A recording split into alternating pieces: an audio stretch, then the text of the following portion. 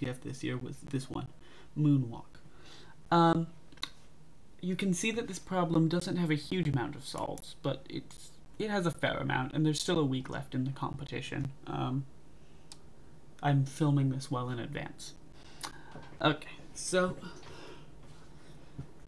the you you get this message. Um, so you download the message, and you get this very screechy uh, WAV file. I'm not gonna play it for you now um, because CTF hosts their uh, games even afterwards, so you can play it for yourself if you really want to hear it. And you, they uh, give you some hints, um, but they're not very helpful. Um, the CMU mascot's actually the most helpful one. It's uh, Scotty the dog, if you look it up. Um, this one's not particularly helpful because a lot of the articles are very vague. Um, however, if you check the Piazza, um, a very common hint there is Research Portal 2's Easter eggs. So if you do that, you find out that there's this thing called SSTV.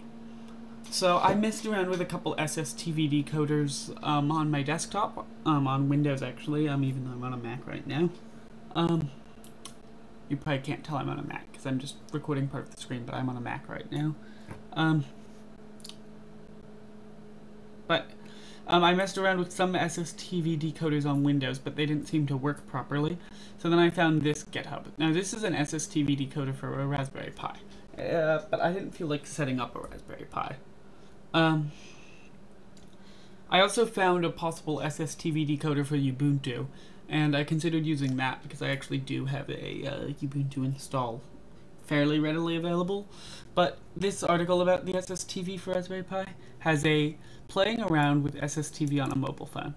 And I have an Android phone, so I downloaded this app called Robot64. And this is where I will take us to. Okay, so on Android, there's this app, Robot36. And this is the app that I ended up using. So if we open this app, um, it can't start the recording because it doesn't have the microphone right now because I'm doing a screen recording. So I can't actually show you this in action. But normally would show a bunch of random noise here. And this is using the phone's microphone. So what you can do is you can play audio in it from the computer. However, that produces a corrupt uh, image.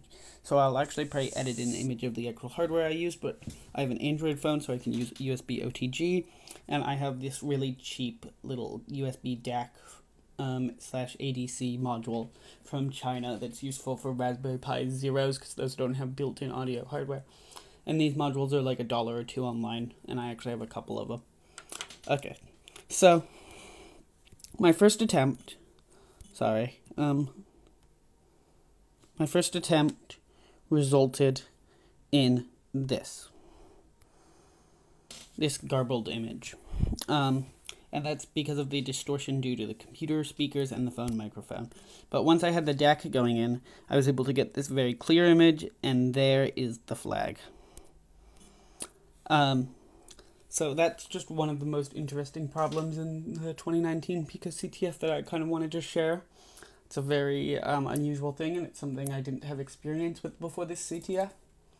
Uh, we have about a week left in the CTF right now, but currently my team has 7,700 and it and is in about 230th place. Um, actually, we've fallen. We're only in 270th place now. A day or two ago, we were in 230th. Um, hopefully, we'll get that up to a little over 8,000 by the end, which will be roughly double our score from last year. Um, yeah.